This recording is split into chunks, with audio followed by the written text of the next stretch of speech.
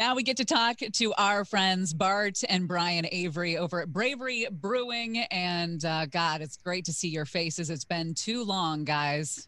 Yes, sir. Or yes, ma'am. Sorry. It's been too long. It's been too long.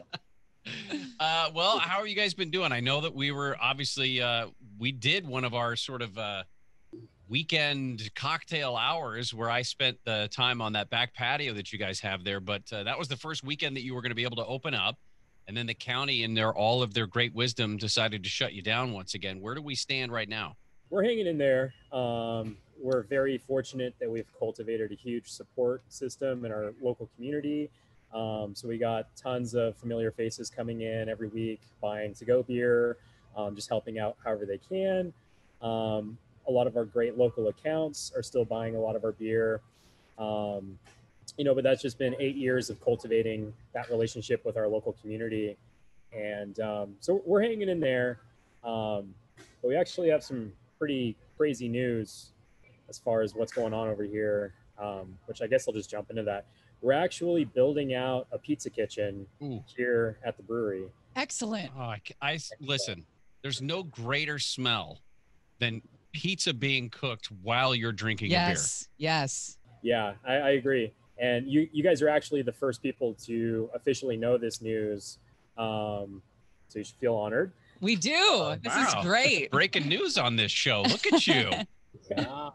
So um, that's gonna that's gonna do a handful of things for us. Um, if we end up beating the clock, meaning we open our kitchen before the the mandates are uh, loosened on us, then that will allow us with our kitchen to use our outdoor seating. Um, and then another cool thing too is now that we have a bona fide kitchen on site, we'll be able to offer wine and cider to our customers as well as our awesome beer. I may So- never leave. yeah. so that's that's really exciting. It's not something we ever thought we would do, especially not you know this this soon. Um, but 2020 has been a crazy year for everyone, and um, some of the silver lining is it's it's made us really kind of refocus our efforts and focus on efficiencies and kind of just what we're doing um, here in the brewery and throughout the community. What's the timetable on the pizza kitchen? We're sh- we're shooting for early November. Wow, that's quick. Yeah. Great. Well, we started this idea about three months ago, and ironically, guess who we have to deal with? It's kind of the ones that are taking all the time. That would be LA County.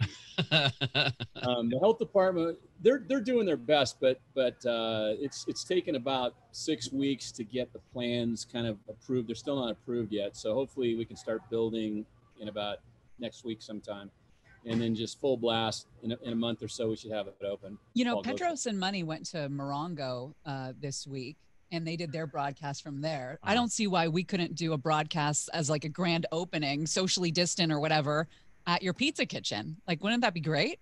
that'd be awesome. Let's make that happen. you know, they'll probably give you free pizza if that's what you're looking for. That's It's- not what I'm I know exactly what you're saying. saying. So, uh, Brian, we've talked with you many times about the the process of of coming up with the different beers and the varieties that you guys have. When it comes to Oktoberfest, when it comes to German, uh, Austrian inspired beers, is there a whole different uh, formula for that? one of the big kind of pillars of those types of beers is um, just really clean classic style brewing.